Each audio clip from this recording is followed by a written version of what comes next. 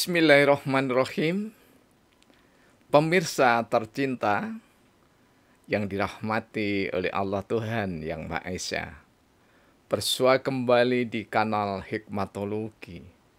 Serial monolog sederhana mengajak diri kita masing-masing untuk kian melembut cerdas dewasakan hati nurani berdasar kitab suci agama kepercayaan yang kita yakini.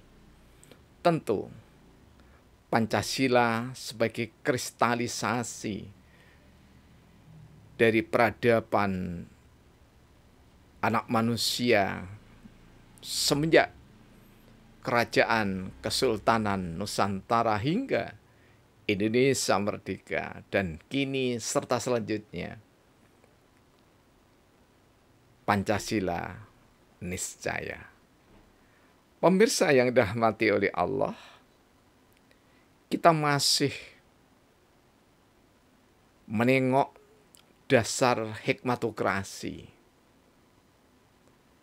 Mari kita lihat sejenak beberapa karya yang saya anggap sangat serius. Riset yang dilakukan antara lain oleh saudara Priyono Cipto Herianto dan Yumiko M. Priyono. Beliau menulis diterbitkan tahun 1983 Demokrasi di Pedesaan Jawa. Abstraksinya disusun sangat cerdik dan cantik diawali dengan tahun 1950. Lagi-lagi melihat tema besarnya yakni adalah demokrasi di pedesaan Jawa. Mengapa pemikir-pemikir besar dan hebat kita menjunjung demikian tinggi demokrasi? Karena perhelatan akbar yang ada di seluruh bumi, nyaris tanpa kecuali, demokrasi menjadi kewajiban seluruh pemerintahan suatu negeri. Karena serasa dan seolah diwajibkan, maka Indonesia merdeka dalam riset-riset awal tahun 19 50, 60, 80 bahkan hingga kini tidak ada yang mengangkat secara serius teori yang berkaitan dengan dasar negara, falsafah Pancasila yang sudah jelas mengakar sebelum Indonesia merdeka.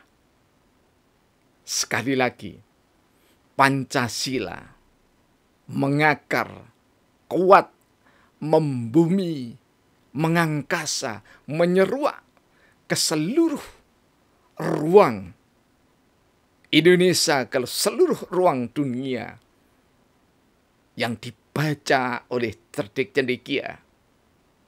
Tidak ada kosakata demokrasi di dalam masyarakat pedesaan Jawa, di dalam masyarakat pedesaan Nusantara, di dalam masyarakat pedesaan Indonesia.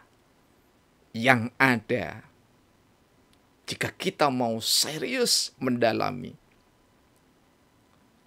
kepemimpinan yang hebat, yang istimewa namun sederhana, bersahaja, yakni adalah hikmatokrasi.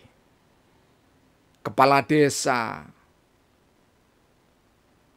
kepala suku, semua diangkat tidak didasarkan pada prinsip-prinsip demokrasi yang di dalamnya ada koalisi, yang di dalamnya ada oposisi, yang di dalamnya ada intrik, yang di dalamnya ada klientelisme. Tetapi hikmatokrasi di dalamnya. Bernas hati-hati yang diselimuti oleh keikhlasan, hati-hati yang diselimuti oleh rasa keadilan, hati-hati yang diselimuti oleh amanat penderitaan rakyat. Pemirsa yang dirahmati oleh Allah, Tuhan yang Maha Kuasa. Kami tidak sekedar bersemangat, namun kami memang niscaya wajib fardu ain mutlak bersemangat menyuarakan suara hikmat. Karena saya yakin suara hikmat dari Tuhan yang Maha Esa dilambari didasari oleh nilai-nilai luhur Pancasila tak akan pernah ditolak oleh setiap dada anak manusia. Karena itulah Bung Karno dengan gagah gegap gempita berpidato di depan sidang perserikatan bangsa-bangsa. Jika ingin dunia damai, maka ideologi Pancasila niscaya diperlakukan di atas bumi tercinta ini. Sekali lagi, tidak pernah akan kami Soekarnoisme, tetapi kami mencintai Soekarno mencintai tokoh-tokoh bangsa, Wahid Hasim, Ki Bagus Kusumo, Pedia Diningrat, semua kita cintai. Pendiri-pendiri bangsa ini. Dan rasa cinta itu tidak sekedar gagap, gugup, menyuarakan sila-sila Pancasila. Namun lebih dari itu, hafal, menghayati, memahami, menganalisis, menerapkan, membangun teori baru yang sebenarnya isinya adalah nilai-nilai bukan saja lama, tetapi nilai-nilai kuno. Tidak ada kitab suci yang tidak kuno. Al-Quran, Alkitab, Samaweda, Veda, Dipitaka, Bhagavad Gita, Sabta Dharma, semua kuno. Tetapi karena setiap yang kami sebutkan itu memiliki asas keterbukaan, fleksibilitas yang sangat terbuka untuk dianalisa maka jika ingin dasar negara Pancasila, ideologi bangsa Pancasila, Wilson Song Pancasila, Wave of Life Pancasila, pedoman hidup berbangsa bernegara Pancasila, maka membangun hikmatokrasi sebagai sistem pemerintahan negara Indonesia berdasar Pancasila niscaya. Karena itu kelemahan yang ada pada diri kami disambut dengan hati terbuka oleh saudara-saudara kita, ilmuwan, cerdik, cendikia, ustadz, ulama, dan seterusnya. Memberikan pengkritisan sumbangsih agar kami nanti mampu menggurat lebih baik lagi, mampu berbicara lebih baik lagi, adalah niscaya. Tidak ada cendikiawan bertemu, tidak ada ustadz bertemu, tidak ada bedande bertemu, tidak ada rohaniawan bertemu, kecuali bekerja sama. Demikian juga rakyat jelata sampai dengan rakyat yang memiliki tahta. Setiap bertemu bukan saling menista, tetapi saling membangun kerjasama. Pemirsa, mari kita akhiri pembicaraan sementara serial monolog sementara ini dengan Syabdana nomor yang ke-16001 satu. Mungkin di antara pemirsa ada yang bertanya, kenapa lompat-lompat? Kami mengikuti gaya narasi Alkitab dan kami mengikuti gaya narasi Al-Quran dan kitab-kitab suci yang ada. Jadi tidak seperti skripsi, tidak seperti tesis, tidak seperti disertasi yang disusun rapi seperti itu. Karena ini adalah letupan hati nurani sebagai rasa tanggung jawab anak bangsa yang ada di kampung Celaket Hati Ningrat, Kota Malang, Kota Pendidikan, Kota para dewa, bercengkrama, membanggakan bangsa Indonesia berdasar Pancasila.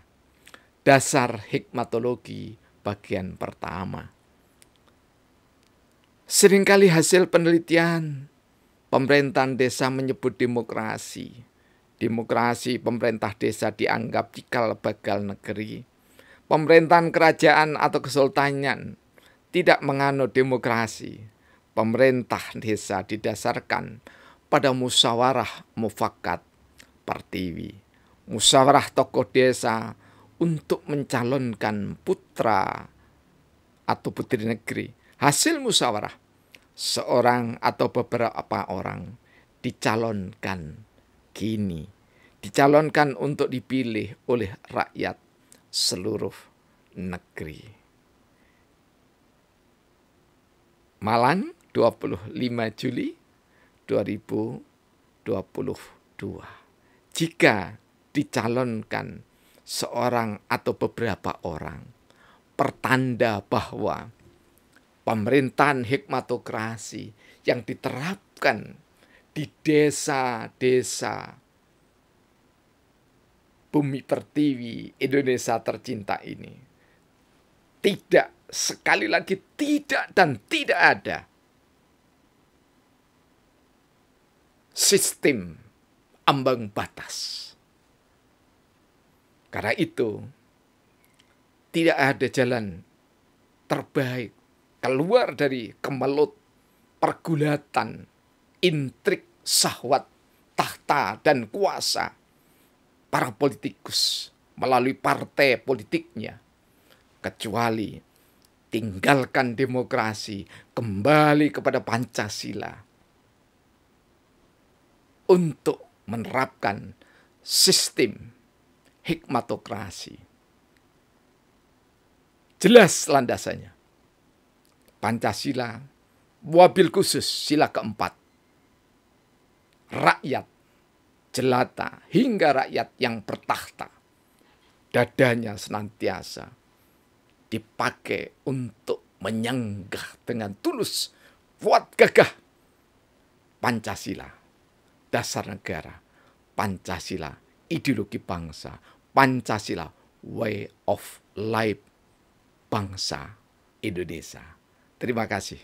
Semoga seluruh pemimpin negeri ini hingga rakyat jelata di seluruh pelosok negeri selamat, sehat, rezeki, berkecupuk, berkecukupan, umur panjang berkah, saling kerjasama, pantang saling menista. Terima kasih.